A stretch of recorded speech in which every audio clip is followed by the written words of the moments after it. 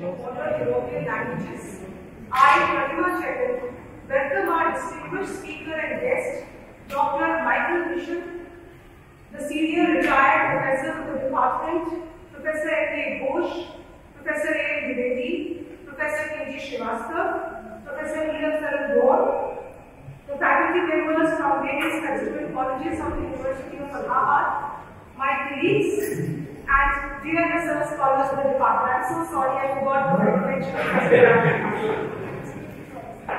um, welcome you, I welcome you behalf of the department. On 21st January, we had the first lecture by Dr. Michael Mitchell on S.G. Dunn, the Secretary of the English Department of the University of Allahabad, and some thought on teaching English in foreign lands. The talk led us into the arches and hallways of the English department as it stood in its glory and magnificence several decades back. We are still basking in the nest of nostalgia created by vivid memories, pictures, and exquisite thought on S.J. Dunn by his great grandnephew, Dr. Michel.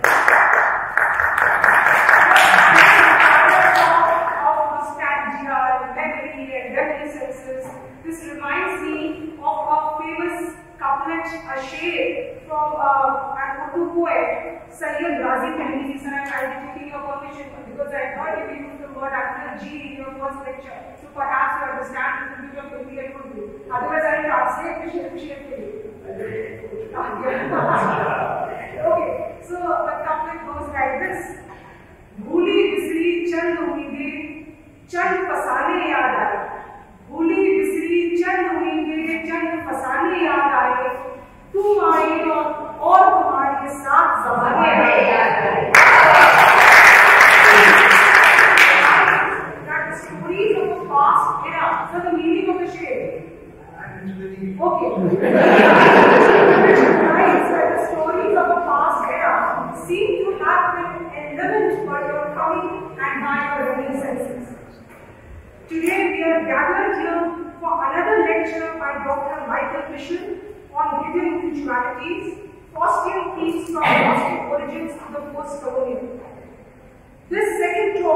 Concentrate more on Dr. Mitchell's own research in which he has traced elements in Marlowe's Dr. Faustus back to ancient Gnosticism and saw how they reappeared in post-colonial literature, particularly in the Caribbean, with such authors as Dabydeen himself, or the poet Derek Walcott and novelist Wilson Harris, all of whom he was lucky enough to know personally.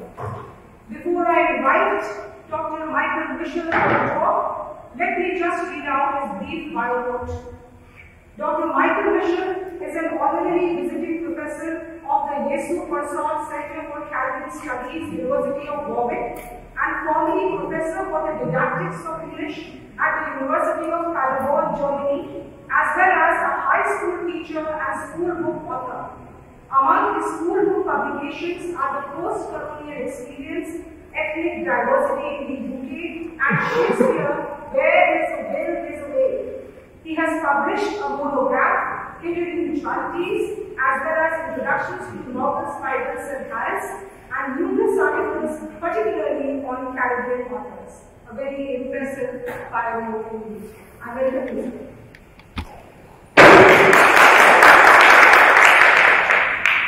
Thank you very much. Um, I have been talking too much and it's kind of getting to my voice. So if the people who are right at the back want to move forward just a little, I, I mean, I can do my voice quite well, but you might not catch every nuance. Thank you very much indeed for coming again. Um, yes, last time we looked at my illustrious great, great. And I was touched, really very pleased at the way in which people saw him with so much respect. And it's not absolutely natural that a representative of, at that time, the colonizing power should be seen in that way. So I, I think that was really lovely. Um, and interestingly enough, I also had contact yesterday with the great nephew of uh, Jack. So there we were, the two great nephews having a chat about those early days and about those interesting people. Uh, so it's going to be a bit different today. I'm going to talk about, as I say, my research uh, that led to my PhD and led to my monograph. Uh, I don't know about what since, but I hope that might be interesting for you. Um, I've already heard from one or two people that there's not much new here, that you know you already, don't mind, you'll recognize it in that case. So, um, I started off, when I began thinking about this, with the rather puzzled idea. You'd have thought in the late part of the 20th century that realism had won out, that we were all realists, that superstition and anything like that had vanished. So I was a bit surprised that I found authors were very interested in magic and the supernatural. Uh, not just the so-called magical realists in South America, very well known, but other authors as well. I mentioned here Coetzee and Rushdie. Of course, if you've read this Telegus, you know that the beginning of Rushdie's novel involves two angels. And Coetzee um, wrote an extraordinary uh, book uh, in which um, a dying woman finds uh, a trap in her garage. And she wonders, having read Tolstoy's short stories, whether he might be an angel. And as the novel progresses, it becomes clear that he does have certain angelic qualities. He becomes, in fact, an angelic guy in the second half of the novel he's even given the name Mr. Vercueil. And of course, you'll be aware that Virgil was Dante's guide through the three areas of the comedy. Not the three, because he wasn't allowed to have, uh, the Inferno. Anyway. And at the end, it becomes clear that Mr. Vercueil is indeed the angel of death. So uh, these sort of things, they're a bit odd then I was, I think I told you last time, interested in making literature a living thing, and one way that I loved to do that is in producing plays. So I had my drama group, and among the, the uh, plays that we produced, there was Priestley's and Inspector Calls, you probably know it, uh, Shakespeare's The Tempest, Marlowe's Open Pastors, and a play by the South African author Fugard called Dimetos. Not very well known, although it's published by Oxford. Um, it has been neglected uh, because people never saw it as a post-colonial work. It isn't about apartheid, or least not obviously about apartheid. And everybody wanted realistic plays about about like the island and uh, the other political plays Fugard wrote. Now, an inspector Calls, you may remember, has a very strange inspector at the beginning, and then later a real inspector rings up. We'll come back to that later. The strange inspector, I saw in my production as an angel. When he calls for his coat, just before he's about to leave, it is a white feather coat with wings. Um, this is my my own interpretation, of course. That's the wonderful thing about plays, as you know. Plays do not exist. Very important thing to remember. Plays do not exist. Is a text on the paper, that's not a play. The play is always something new. However, it is produced, and each time it is performed, it is different. And then you package a play, and it's gone. It's not a play. Shakespeare's The Tempest, of course, is very much about magic. Prospero's magic, and which he performs through his spirit Ariel. Marlowe's Dr. Faustus is all about magic. It's all about rejecting the other subjects that you could study at university and studying magic instead, with which, of course, he calls out Mephistopheles, the devil representative of Lucifer. Lucifer, a very interesting word, of course, if you know your Latin, Lucifer means the bearer of light, the bringer of light. Interesting. Uh, and then Dimetos, as I said. Now, when I had done those, I noticed that there were some themes that seemed to be in all of those plays, and were also in David Dabydeen's novel Disappearance. So I thought, oh, I need to ask an expert. I went along to David Davide in and I said, um, that's a funny thing. All these plays seem to be natural. There's yours as well. Your disappearance got the same thing in it. Why? He said, I have absolutely no idea. Why don't we do a PhD and find out? So that was the beginning of what I did and what I would like to sketch rather briefly. In some ways, then, it does begin with Dr. Faustus. Dr. Faustus in performance, these are my two actors uh, in Dr. Faustus. And both of them, originally I had wanted a male first. I thought I wanted a male first. And I actually had somebody lined up, um, and then he said, oh, no, I don't want to uh, But a girl who had played Ariel and had played a part of Lydia Dimetos said, I would to do. What? What's going on here? Now it's, you can't find a Dr. Faustus anywhere that's not with women. But in those days, the idea of having a different gender was relatively new. So I thought, can I make sense of this? Is there any way of making sense of this? Now, I don't know if we're going to be able to see this. I, I, I just included a, a, short clip here from my production. Um, in my production, I had in front of the stage seven cages. And in those seven cages were seven creatures who later turn out to be the deadly sins. And each of them, when something happens which refers to, for example, pride, or anger, or gluttony, or something, anything like that, they make noises. It's just like, you know, on, uh, on a sitar, you have your sympathetic strings, and if something, you, you touch a note, and the sympathetic strings uh, vibrate in, a sort of, um, it's not harmony, it's the, oh, it's not even scale. Never mind, you know mean. You know, sitar music, that so there we have those, and then on the stage the light comes up on a globe. Let's see if this to work.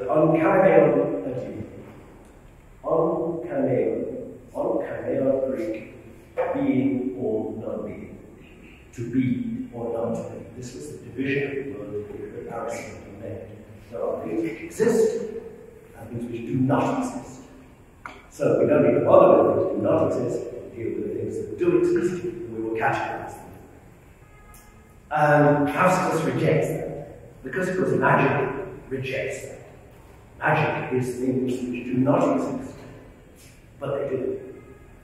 Very strange.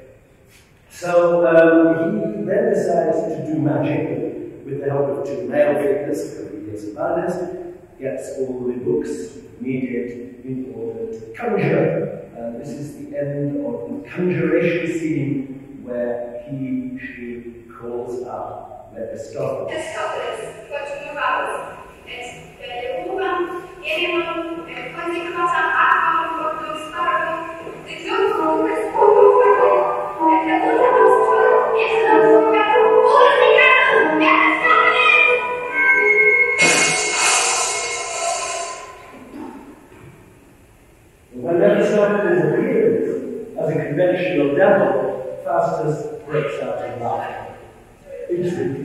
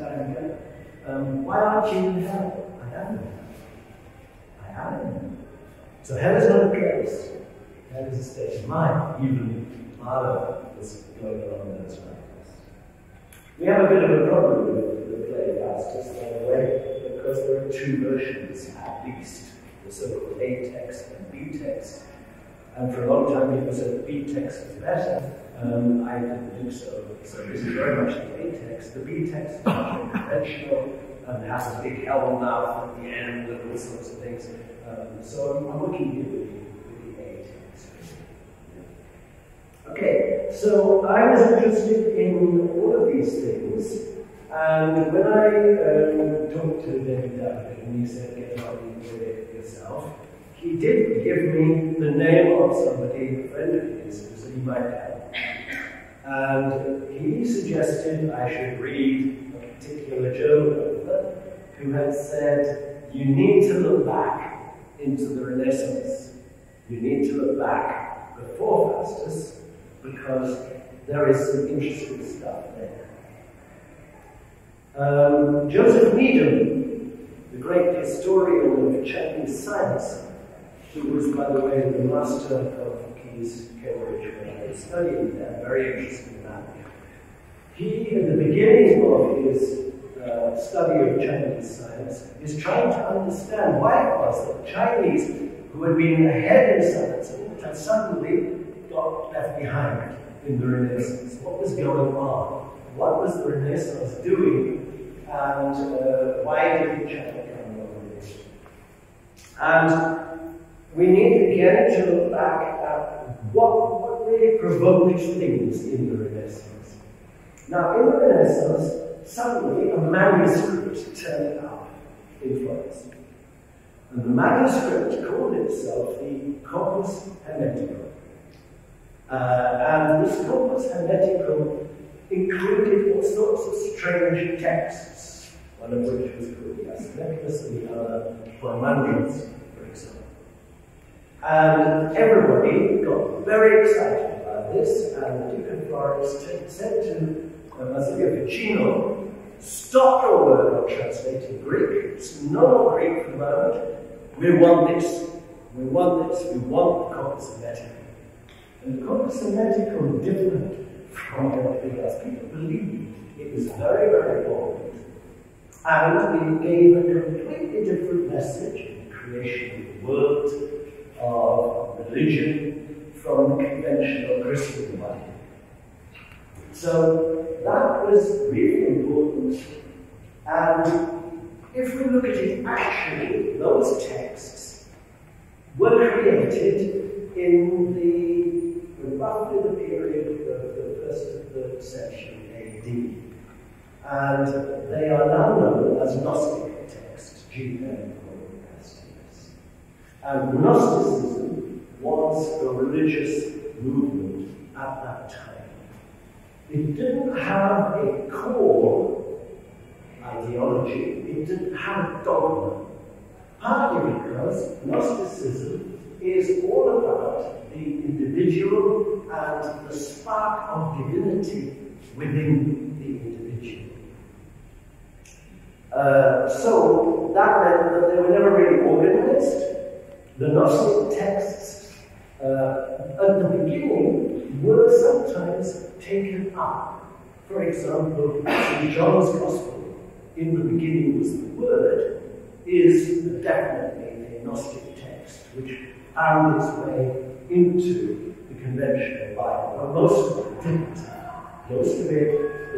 And the Christian church, which by that time had become a hierarchy with uh, a leader at the top and, people under the leader, and a definite body of texts which they said were the, the only ones which were important. And they also established um, a monopoly on magic, they called miracles. Being able to do miracles in the miracles, which was of course magic. And um, they suppressed Gnosticism ruthlessly. Any Gnostics were exterminated, their texts were uh, destroyed, and the only um, thing that we have for a long time about Gnostics were Christian writers saying how dreadful they were and explaining why. So they gave the Gnostic ideas from their own point of view with a lot of bias. Now we know more about Gnosticism, partly because after the Second World War, a, um, a find was made at Nag Hammadi in Egypt, which included a whole lot of Gnostic texts buried. And we could see that that, that corpus hermeticum, which turned up in the Knesset, was actually part of the body of the Gnostic texts. There were other people working along the same lines. They often called themselves magi. A magus was somebody who knew a lot, but also somebody who could work magic. And among these magi, we should perhaps mention, apart from Ficino, uh, Cornelius Agrippa of Nettesheim. Cornelius Agrippa. Now, it was very dangerous to, to do stuff with this because the church, once it got an idea of what was going on, the church got quite worried about it. And anybody who was pursuing these ideas was in danger of being called heretic and burnt. This happened indeed to Giordano Bruno in 1600.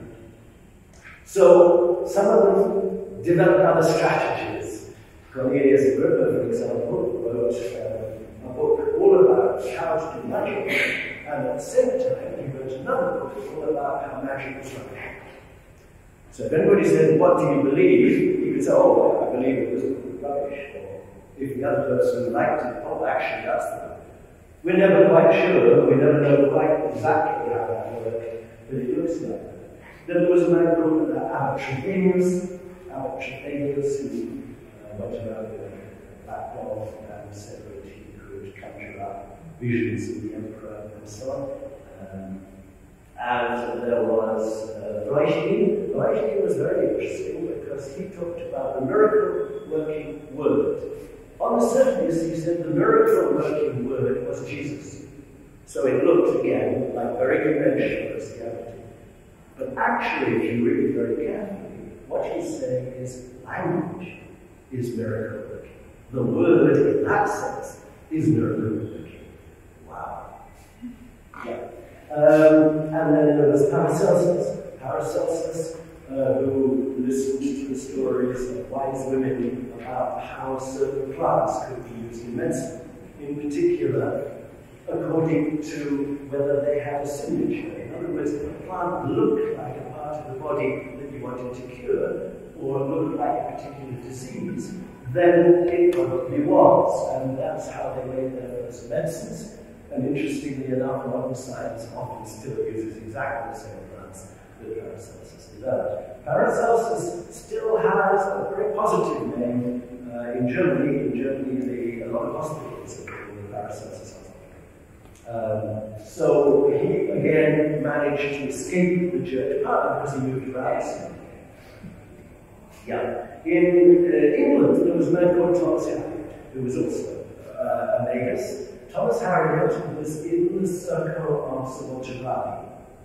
Uh, in fact, he instructed Raleigh's captains in seamanship, and he went with Raleigh's expedition to Roanoke, the first settlement, and he found native speakers of uh, American Indian language, and he actually um, noted down their language. Uh, I don't know how far he was able to learn it, but the problem was he noted down the language in, um, in uh, phonetic writing. He developed a phonetic writing rather like shorthand, and uh, people believed that these were sigils. Sigils were special signs that you used to call out devils. So he, he got uh, a bit of skepticism there. But he was protected because he was with Swampton Now you may not know, of course, there's another person who was with Swampton at the time was Christopher Marlowe. So probably Christopher Marlowe got a lot of the ideas he was working on from Thomas Harriot. And um, may even have got hold of this strange book that was doing the rounds in Germany called the Faust book. The Faust book, which had a lot of stories about somebody called Faust. And he may have got a translation of it before it came out in English, because it came out a bit later. And the play, although it obviously quotes the Faust book, is probably known.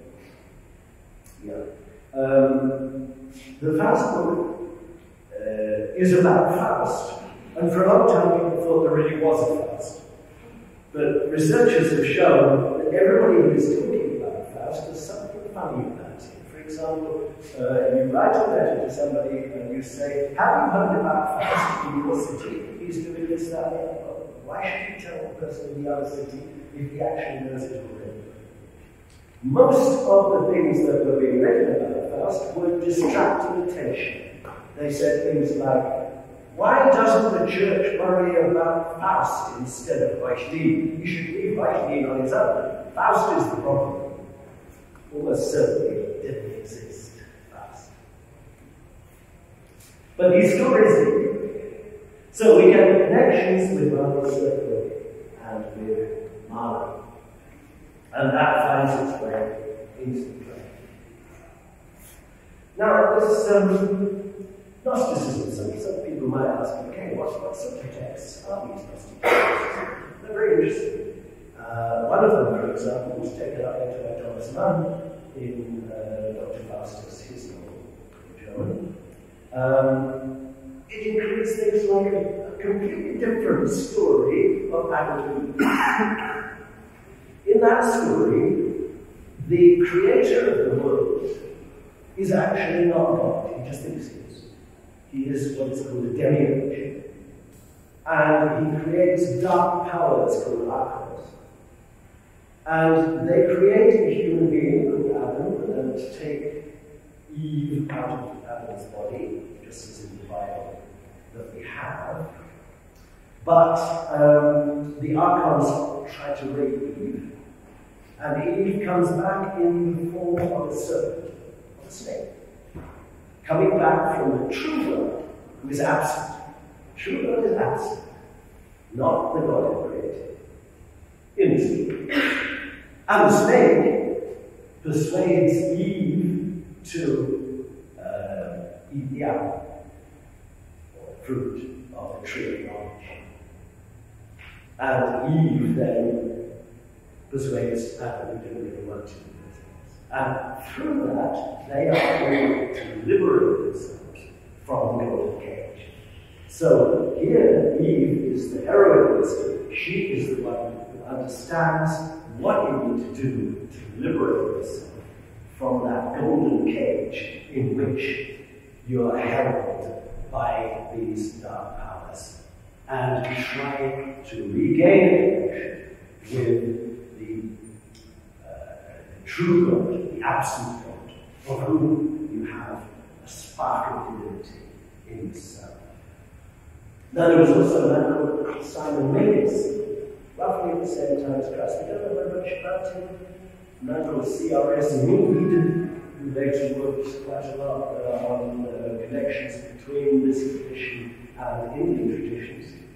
Um, G.R.S. Mead wrote about Simon Uh, he apparently did miracles um, in um, what we now call Palestine. And um, he uh, went around with a woman called Helen. And he said this Helen was actually uh, fallen femininity, and he had found her in, uh, in a brothel as a prostitute. Uh, but she was the spirit of the divine uh, feminine. And he went out with her, and this became quite a famous story. Uh, and in one of the stories about Magus, he calls himself uh, Faustus. Uh, he transforms into a different shape to escape something, and he calls himself Faustus. So interestingly, we get a direct connection back into Faustus. Okay, um, of course, then we also get um, Margaret Shakespeare, Prospero's Magic, and theatre. The point about Prospero's Magic is, I'm sure you know, you should know the play very well, that is, Prospero's Magic is that he has to give it up. At the end of the he gives up magic. And by giving up magic, he also gives up Ariel, he frees Ariel. Um, and some people say, you can interpret it like that. The Prospero is the theatre Prospero is doing theatre. There are a number of things that, that make that happen. The mask, for example, where spirits uh, put on a play for uh, Miranda um, and um, the whole thing can be seen as a play. And at the end, those rather flat lines at the end of the play, rhymed lines, nothing like the rest of the play with its magical language, is more or less saying, okay, that's the end of the play. Please clap, because we're off. Um, so the theatre, the idea of the theatre. Cornelius Agrippa of Nettesheim said that it was important that the soul was standing and not falling. Simon called himself the standing one, standing and not falling. Agrippa said there are four poles, the mandala, uh, and the lower pole is at the body. And it's very difficult to stretch yourself out on those four poles without falling. So standing, not falling. And I've already said, um, talked about the miraculous word. And of course, the Tempest is full of the idea of a miraculous word. That through words, you can do all sorts of things. Which, you know, even the beginning, it's beautifully done. The beginning of the Tempest is a realistic story with all the nautical language and so on. And then, whoosh, off the stage, and Prospero says, You think these people died in this story, but they didn't. Everybody is fine. In fact, he's quite annoyed with his daughter because his daughter says, Why did you do it? Why did you do? Sorry, devil. And he says, Just shut up. He uses the word you instead of that, which is the way in which he expresses anger as well, not the, the, the nice uh,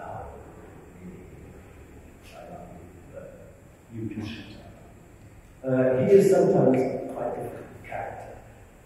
And of course, in post-colonial times, uh, everybody talks about Prospero as the colonizer, and as the colonized, and then they miss some of the subtleties play, if not careful. Then you get onto things like, oh, Ariel that represents the police, and um, we get up to all sorts of over interpretations. I wasn't interested in that, I was interested in these very strange things.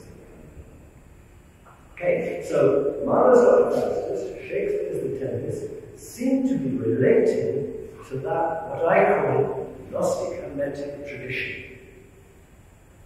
What happens after that? Well, Renaissance magic led to these magi investigating things. They wanted knowledge. Is what Gnosticism is all about. Gnosticism means knowing. Not just we do what God says, and we do what the Bible says, and we do what the church says. They want to find out for us. So most of the magi were also, if you like, the first scientists.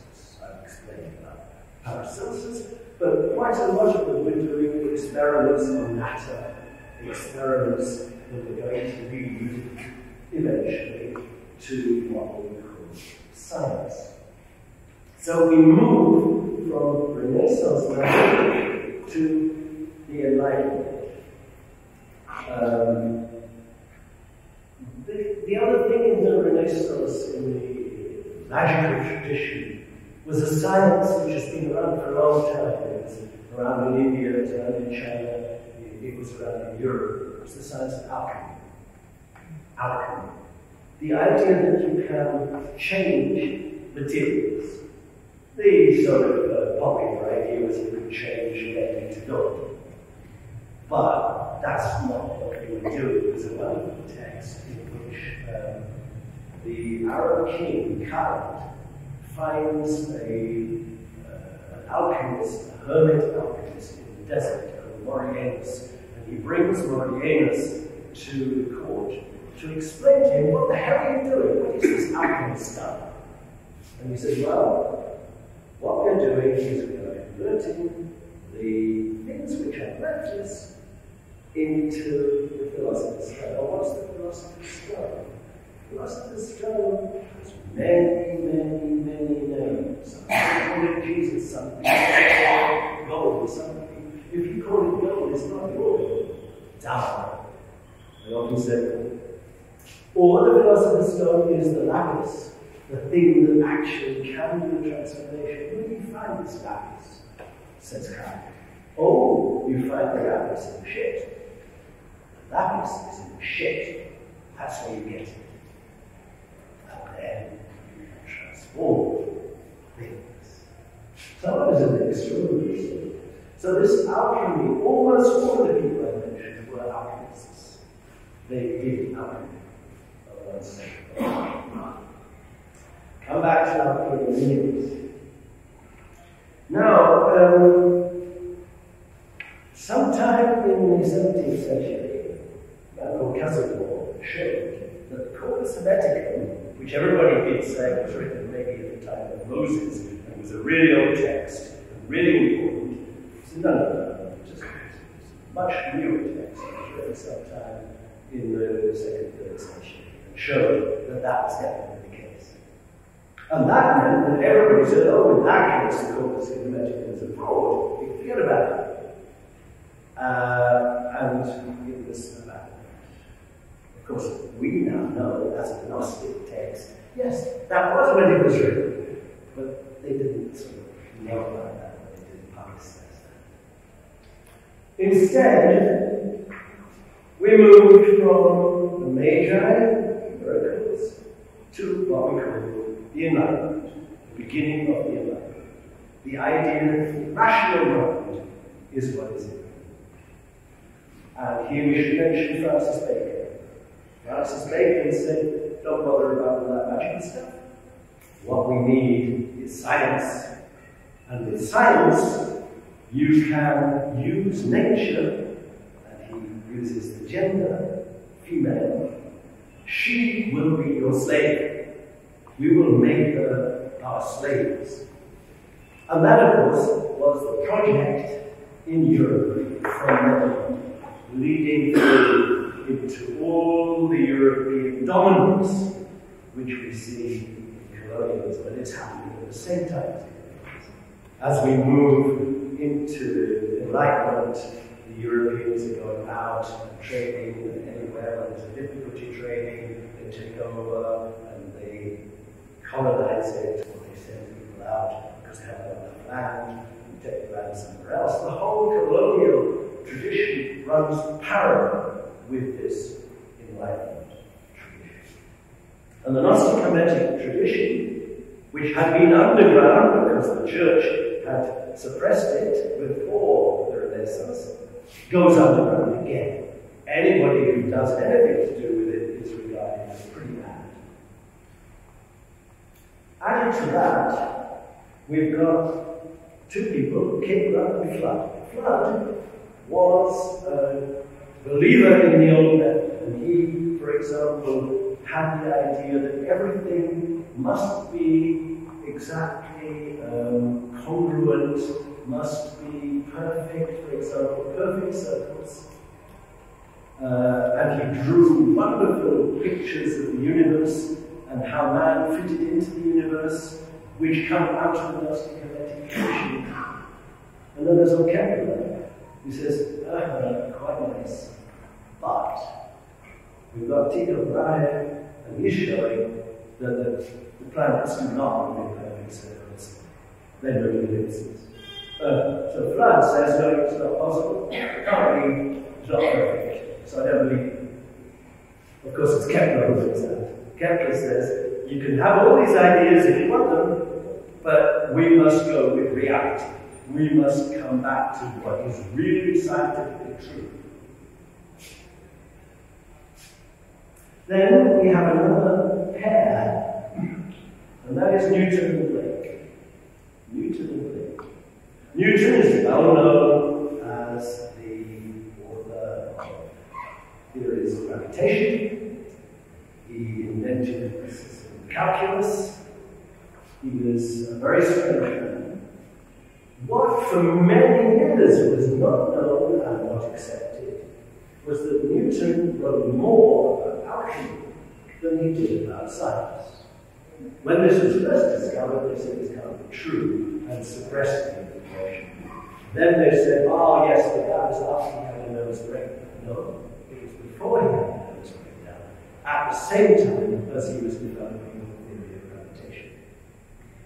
He was the center of a network of people swapping alchemical texts at that time in the 16th century.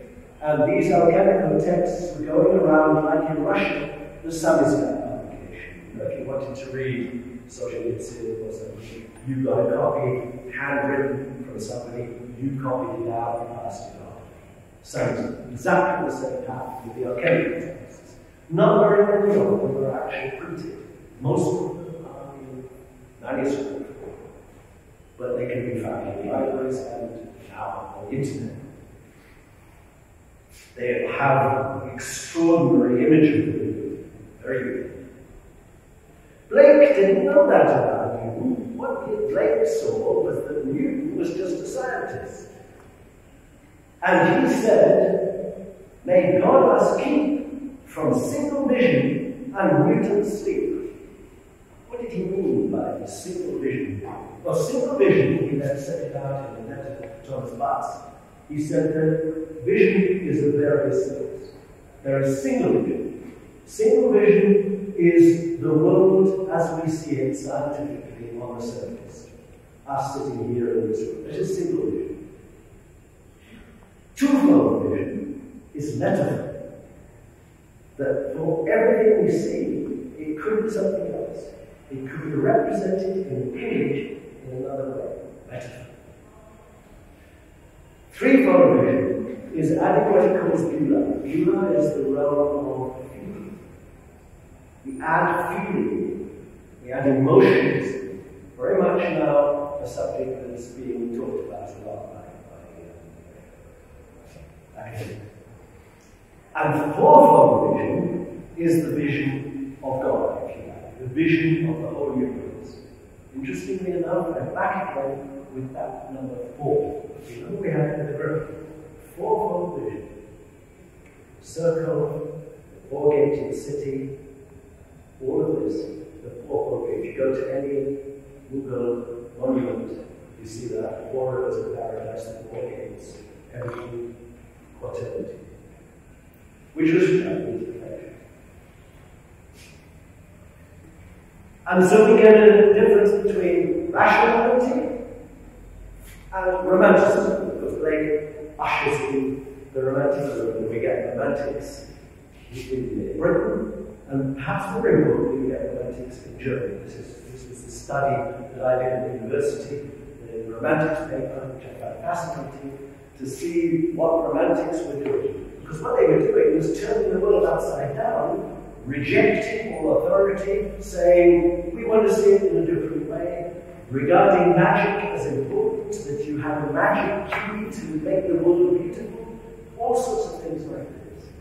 And it disappeared. Romanticism disappeared and ended up being in German Biedermeier and Victorian novels and so on. That was an explosion of creativity which died. I found this very much as a Victorian. You see, I'm a child in the 60s. In the 60s, exactly the same thing. Suddenly, all the old hierarchies, all the old, um, all the old certainties are thrown out. The times there are changing. And we believe everything was possible. All you need is love, said the Beatles. Or incredible string band, you know what you could be. Now tell me, my friend, why you worry all the time you should be. You know what you could be. Your ultimate potential from within yourself is all you need. See what happened to that. Why does that sort of thing happen? Well, perhaps we can begin to see here. In rediscoveries, at the end of the 19th century, these ideas were being rediscovered, these texts were being rediscovered. Quite a lot of the Gnostic texts were run through what is called Freemasonry. A whole lot of Freemasons, uh, a lot of them didn't know what they were talking about, or didn't know what they were doing, texts of, that are involved in Freemasonry, a lot of it is actually out of the Gnostic hermetic tradition. And one that I was interested in was Rudyard Kipling, of course, real connection here to Alpha, because he wrote the story of the man who would be king. And the man who would be king is all about Freemasonry. Uh, the man who would be king discovers a Freemason, a Freemason sign in what is known as Kafiristan, and nowadays Nuristan, up there in 1969, very strange that, um, but Kipling, uh, he's not sure about it. He, he knows he's done up something a bit dangerous, and he withdraws again. He says, you shouldn't go down the road to Endor, to the witch of Endor. And, and, he doesn't go, he doesn't pursue it. The person who does pursue it is Yeats. Yeats pursues it in things like Rosa Alchemica. He pursues it. And he talks about the way in which you can get back to this tradition. But he makes it clear that he, there is a danger. Now, Yeats was in uh, an organization called the Golden Dawn. And the Golden Dawn was using alchemical material and had the idea that you could do magic with it. And there was a confrontation between Yeats and Aleister Crowley. Uh, Aleister Crowley was using the same stuff, but Aleister Crowley was using it realistically, as though it was real. So he, for example, went up to the top of a mountain with a male friend of his, and they did what was called Dee magic. That comes from the Magus John Dee, who wrote How You Summon Devils. And they summoned the devil, and it culminated in uh, Crowley sodomizing the other man. And we all know what happened to Crowley. He went basically bonkers. Um, because, in my opinion, he was trying to say that magic should be real. It should be done realistically. And it isn't. That is the soul of falling, not spell. Coming back to the group. And the next pair I got is Pauli and Jung.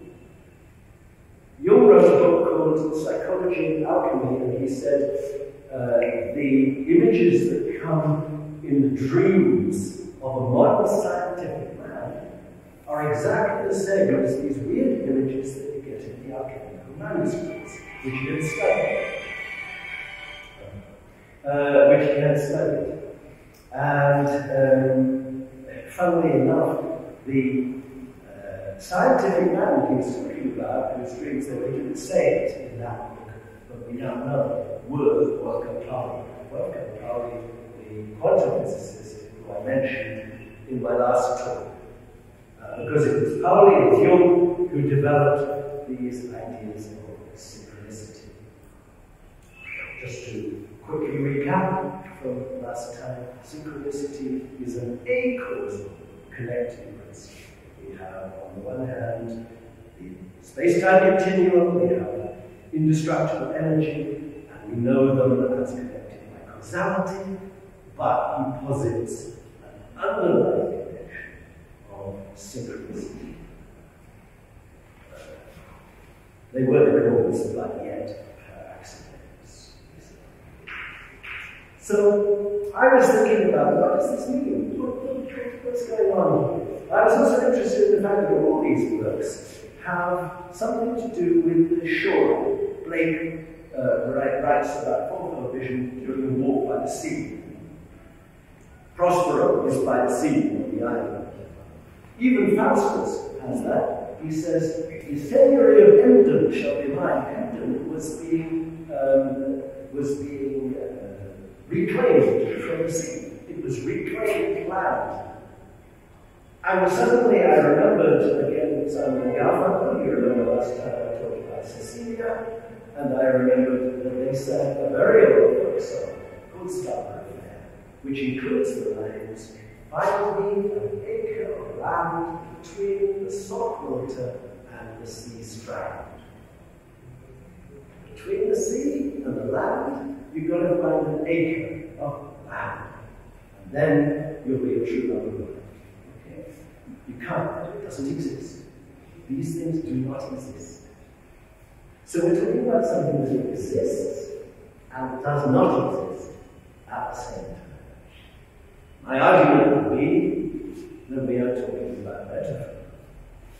Metaphor is all about things that exist and do not exist at the same time. It's all about synchronicity. Why should two completely different things have a connection with each other. Synchronicity. We go on, um, I've looking into Deleuze a lot. Deleuze and his ideas about repetition in play. Because, of course, in the play, as what I said, the play does not exist, and yet it does. Play is and is not at the same time. If you watch two dogs having a play fight, how do they know it's? How do they know that it's not a real play? They seem to get the idea. There is play which is and is not the same. So from there, I went into four post-colonial orators. One of them is Dimitrios Papaflopouga. In Dimetos, an engineer, and the engineer uh, believes that emotion and stories are nonsense. It begins with a horse has fallen down the well, and uh, the engineer's niece, uh, he lets her down uh, half naked onto the horse that she can attach ropes, and he's system of pulleys, and he says that is what you need. You need engineering skills, you need to know the mechanical advantage, you need to know the mechanical powers, and then you can do it. And I know what you want, you just want a story. Uh, once upon a time, see. That's right. Somebody comes from the city to persuade Dimetos to come back and solve the problems of the city, and uses him as a catalyst to see what happens if he puts uh, Danilo, the visitor, with his niece. And uh, because actually, of course, he has a hidden passion for her. And that gradually leads to catastrophe, particularly when Lydia understands what's going on, and she, at the end of the first half, hangs herself. In the second half, the, it becomes clear that there is a sea animal out of the rock which is snow. And this it represents the fact that that body, that hanging body of Lydia, he can't get down. There is no way that his mechanical powers will do it. And then the voice of Lydia comes to him and says what you need, the only way to hold time, the only way to, to, to get this sorted is a story. You have to start once upon a time, and then you put it in the center, there was, and then you put it in the end, forever after. And he has to create the story of the horse, horse falling into the well, which is him. He is now the horse that has fallen into the well, and he can't help himself. But it's, uh, a powerful thing. Powerful. Uh, oh, by the way, the story itself, there was um, uh, once upon a time, it's a funny thing, once upon a time. I believe in Indian languages, you say there was, there was not. Certainly in Czech. In Czech, byl, nebyl. There was, there was not. In other words, here is something that exists, but it doesn't exist. But back there. David Dabydeen's crystal clear. Yeah, David Dabydeen's disappearance is also about an engineer. It's also about somebody trying to hold back the sea. They're trying to build a seawall to protect the crumbling cliffs of England. And the engineer has come from Guyana, where he had a, a European mentor, but now he has become independent and he's come to England to solve England's problems. You know, there are quite a lot of post-colonial tropes in that. Um, but it's all about how truth or the rational is entirely unstable. And of course, here we're dealing with deconstruction, we're dealing with Derrida, we're dealing with the fact that all language is not going to be not going to be close to reality. It's always slipping away. You're never going to quite be there. Everything disappears. And indeed, you can't hold back the sea, you don't be able to see the land. One of the reasons that I asked in the. So, colonial and post-colonial, uh, but he also writes back to Conrad, and of course, writing back is so central to all post-colonialism. The very few post-colonial works that you do not, in some way, write back, because the old canon was what you used to be, uh, you used to be hit over the head with you can't do this. Uh, other Europeans can do it. Here's Shakespeare, here's Dickens, here's, they're all much better than you are. You it. And of course, can better. But you take what was and you change it. The very famous one, of course, Jean Rhys, uh, with uh, White Sargasso Sea, where she takes Jane Eyre and tells the story of the Caribbean heiress, the madman in the attic, and makes it that story instead. And so, the writing back here to Conrad's Heart of Darkness, David did it quite a lot. You remember at the end of um, the journey, where Marlowe, Marlowe, interesting, yeah, Marlowe, uh, Marlowe finds Kurtz, and there is a new animal figure. I'm, I'm going to bring here the, the Jungian term animal figure an extraordinary woman who is almost a spectre in the jungle. She's black. And Kurtz says, You've got to give the message to my intended, who is, who is in the city of Brussels, described as a sepulchre city, white but dead. And so Marlowe goes to see the intended, and uh, it describes him how he brings the whole of the jungle in with him, the whole of the heart of darkness in. And the attendant said, Could you please tell me what his last words were? And Marlowe lies, or does he lie? Because he says, his last words were your name. But we all know Kurtz's last words, very famously, were the horror, the horror. So, interestingly enough, did he lie? Is her name the horror? So, this is another thing that we find in Hamilton. It's a disappearing muse. A disappearing muse. The idea of the muse is very important. What lures us on? The muse. Helen in Dr. Faustus. Ariel in the Tempest. Again and again we get a muse, a feminine figure, which is a lure. It's the same as Lydia and Dylan. It's a lure. The soul standing right forward. You can't fall, but keep standing. Strange. So uh, the district is underground village because the, the village is going to go under the sea. It represents quite a lot of places in England where the sea has encroached on the land. So another the themes we'll be talking The third of the uh, post-colonial topics, Walcott's amazing novel verse, Omeros. Haven't read Omeros do. It's the most incredible. Really is. Now, in uh, Omeros, there is again heaven, the muse. Lucia is called the heaven of the Caribbean, the most important geographical feature of. Lucia, two big mountains called the. And if you have a bit of imagination, of course, there's of female anatomy in there. Um, by the way, I spent the night on my topic of Piton with uh, Rastafarians who put me at night tell me not very many solutions. Uh, the important thing is, Helen in the story, in Omeros, is being fought over by two fishermen, Achille and Hector. Of course, you can see it's the Iliad. So he's writing back to the Iliad. And at the same time, he's talking about how Britain and France fought over St. Lucia again and again.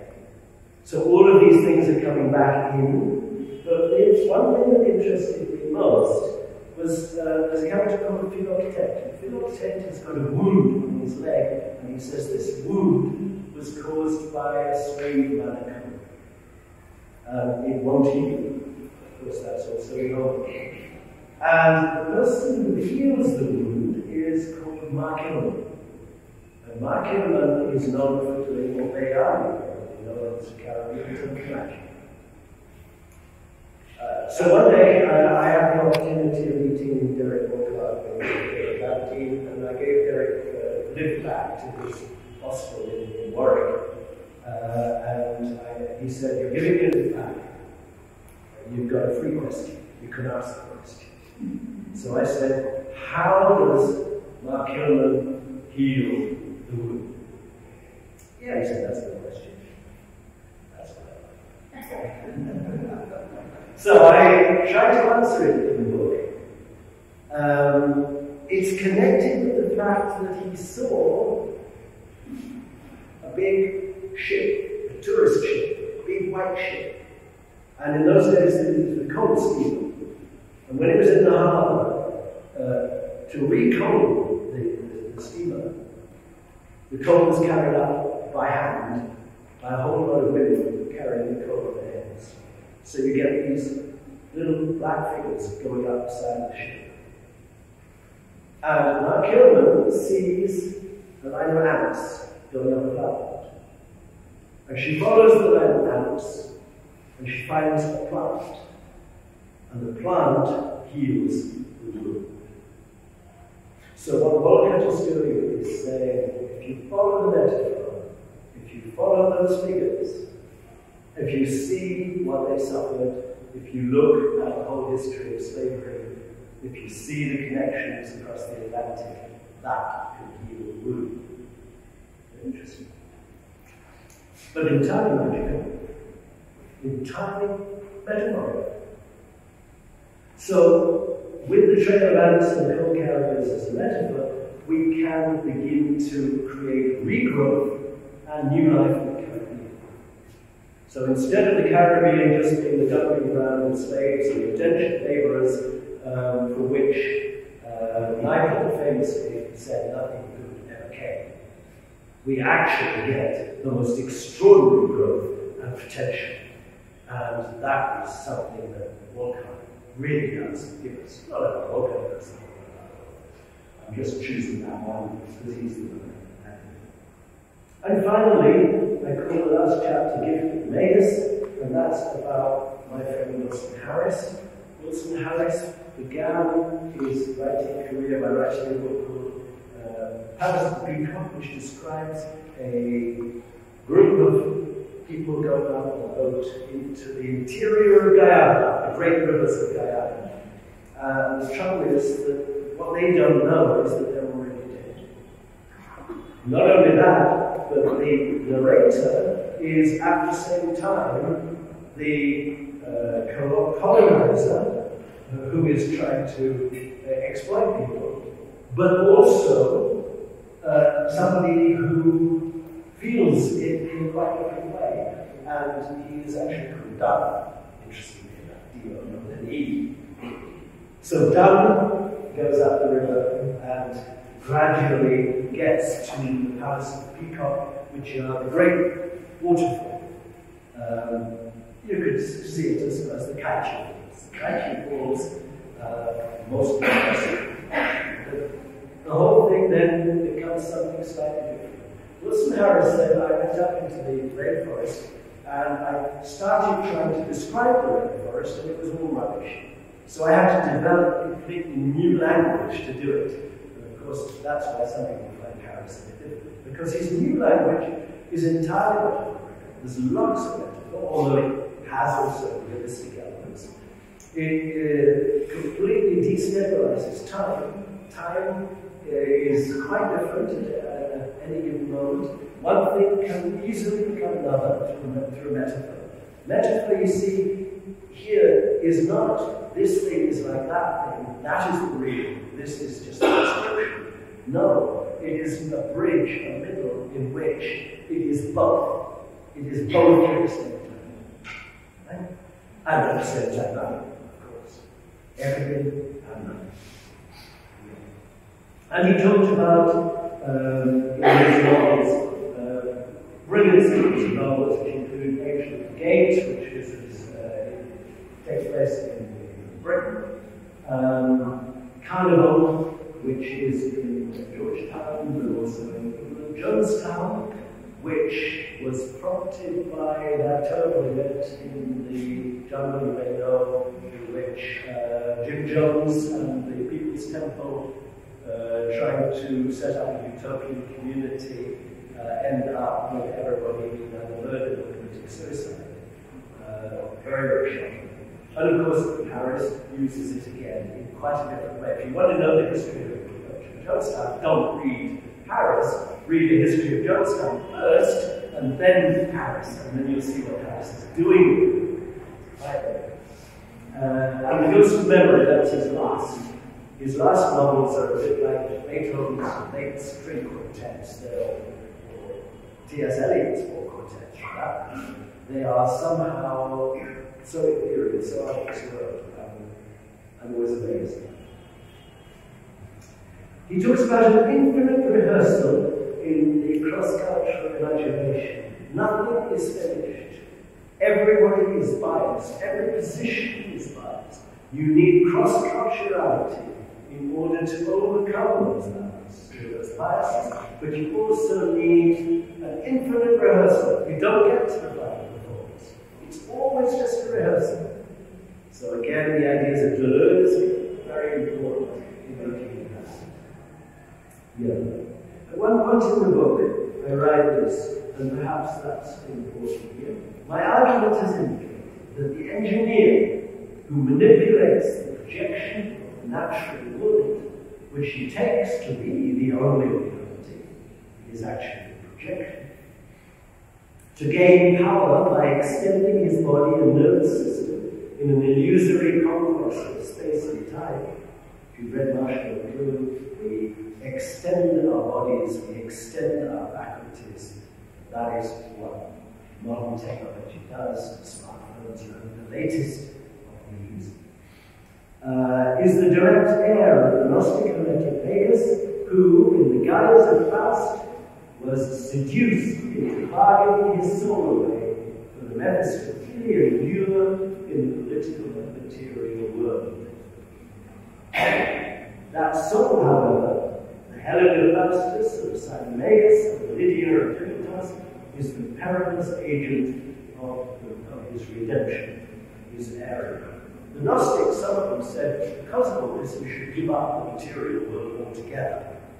So the sect, for example, the Albigenses, uh, said, we will not have anything to do with the material world. No, what we got here is something different.